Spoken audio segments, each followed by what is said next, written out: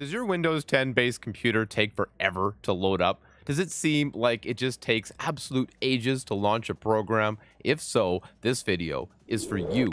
I'm going to walk you through my seven favorite tips of absolutely doing everything that I know to get things working at their very best possible possible level and six of them are all software tweaks that we can make within Windows clicking this and clicking that and making a few changes. And then there is a suggestion of a little piece of hardware that tends to be an amazing upgrade for most people if you're working on an older computer. So watch this video right to the end and you're to see all of my best suggestions. All right, so as you can see for tip number one, you see my mouse highlighted there. I'm to right click here on the start menu and we're to disable the startup programs. And you see where it says Task Manager? I'm going to go ahead and left click on the Task Manager. I'm going to bring up this little box, the Task Manager, and there's one, two, three, four, five, six, seven tabs at the top. You're going to go ahead and click on the fourth tab over called Startup. And as you can see, I'm going to maximize this on my computer. I actually haven't looked at mine in a little bit, and it's not a huge problem for me with my system, but I do see the status of multiple things to be disabled or enabled, disabled or enabled. And the ones that are enabled are the programs that are going to launch when Windows is launching. So you really want to go ahead and disable as many of those programs as possible. You don't need to launch when your computer launches. So for example, my iTunes helper, I don't really need that. It says it's enabled. I'm going to go ahead and right click on that and I'm going to click on disable. And that's really as simple as it is. And all the ones that are enabled that you don't think need to be running when you start your computer, you go ahead, disable them, and that should be that should be minimizing the amount of programs that Windows has to launch when your computer starts up so that when you need to use your machine, it's ready to go as fast as possible.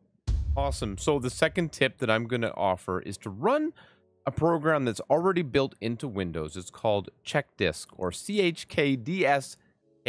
And to find that, what you need to do is click on the little search icon in the bottom left corner of your screen. I'm going to bring up your search bar, and I'm going to type in here CMD. And before you go ahead and click enter or click run, on the right hand side, you see where it says run as administrator. It's important that you go ahead and do that so that we have full access to run the command. So I'm going to go ahead and run as administrator. And yes, I'm going to agree to the Windows command prompt. And what it's going to bring up here is the command prompt, which is what the CMD stands for. Go ahead, type in CHKDSK, and I'm going to go ahead and hit enter. And what it's going to do is it's going to scan the file system of your computer. It's going to look for any errors or bad sectors on the disk, the hard disk, or your SSD that could be interrupting in the smooth operation or file movement and processing that needs to happen when your computer is running. So I'm going to skip it ahead here a little bit. All right, so as you can see, that total thing took just about a minute. It causes absolutely no harm. It's built right into the Windows system. And you can see there that I did have zero kilobytes in bad sectors, which is a good thing and always a good practice to work on a Windows machine. Let's hit up tip number three. All right, so tip number three, we're to optimize the drives on our system. Go ahead, click on your start menu, left click on that start menu, and we're to click then on the settings button here. And from settings, we want to go into the system tab, which is the first top left. And on the left hand side of the system, you're going to see where it says storage. Go ahead and click on storage. And then I'm going to scroll down with my mouse wheel a little bit here to where it says optimize drives. Go ahead, go into optimize drives, and it's going to bring up this window right here.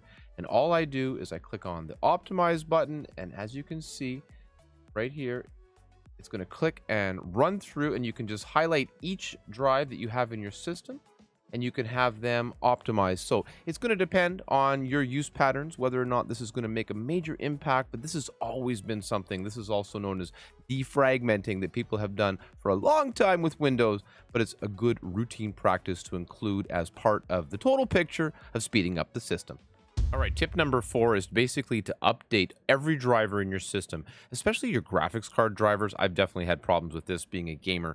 I like to go and open up. So if you've got an NVIDIA GeForce based system or NVIDIA based graphics card is what I mean, you're going to want to open up your GeForce experience. I'm opening that up from my lower task menu here. Uh, but you could also open it up by searching for it or bringing it up in the start menu. And I'm literally just going to go where it says here for drivers and I'm going to check for updates course, right now, I do happen to be up to date with my graphics card drivers. You have the latest GeForce Game Ready driver, but if you have an AMD-based graphics card, then you're going to want to open up that utility program and update via that route. Tip number five, and make sure you are updating Windows. Click on the Start menu and click on Settings. Obviously, you're going to want to go where it says here to Update and Security. Once you're in here, there's two things to always make sure that you do. First is you're going to want to click on check for updates. It really doesn't usually take a ton of time, unless, of course, you haven't done this in a long time. This process on a really old machine could take like a day. You know, it's it's definitely something that I recommend trying to stay up to date with. And as you can see there, I just installed a brand new virus definition update, and it literally took me just a couple of seconds. The other thing to be aware of here is to click on View Optional Updates. Now, there's a little driver update I can click on here with a little drop down menu. And as you can see, there's a printer driver and creative media.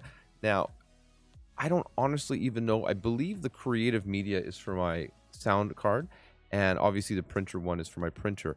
It is important that you especially focus on the Microsoft updates. As far as each of the hardware devices, it is not wrong to go ahead and go to their web pages and to download those updates manually. But I have often just used Windows Update here to keep the system up and fresh so that all your devices are working optimally and everything is working as smoothly as possible. So tip number six is a little bit more involved than the others, but it's definitely something that can help you when you've tried everything else. Go ahead and click on your start menu once again, and you're going to want to click on settings. And now from here, we're going to go back into the update and security section. But once we're there, what we're going to do this time is you're actually going to click on where it says recovery. Now, under recovery, you have to go to where it says get started, and you're basically going to reset your PC. And what I would recommend for almost all situations, unless you're certain of what you're doing, is you're going to click on the Keep My Files option. And what that's going to do is it's basically going to reinstall Windows and it's going to keep your programs, you know, or mainly like your pictures and your files, all where they are. And it's just going to update the Windows files. This is something that can be really, really helpful to, you know, kind of like fix problems that you just can't quite uh, maybe your printer's not working, or maybe you're having some other kind of glitchy behavior, which isn't common these days, uh, but definitely something to be aware of. I'm not reinstalling mine exactly the second, but it is absolutely something that I recommend you do if it's been a long time. All right, and also just make sure that unless you have the USB drive or the you know DVD or CD-ROM that you can reinstall Windows from, you're going to want to use this cloud download feature. And that's essentially saying that it's going to download Windows from the Microsoft servers so that it can update it. And I'm going to just click on next here. We're just going to go through the menus just to kind of give you an idea of the choices that I would make for each of the questions that it's asking. And it's showing you right here what it's going to do. Resetting will change settings back to their defaults. It'll keep your personal files. It'll download and reinstall Windows and remove all apps and programs. So that's something to be very aware of that you might want to just make a little list or take an inventory of which programs you have in your system so that you can uh, you know easily recover and re-download fresh fully up-to-date copies of them. And we're just going to click here where it says view apps will be removed. And this is showing that it's going to remove a whole bunch of everything. And this is a great way to clean up a computer that you know you've had for a long time or maybe you know you you know you're going to give it to your kids or you're going to give it to somebody else.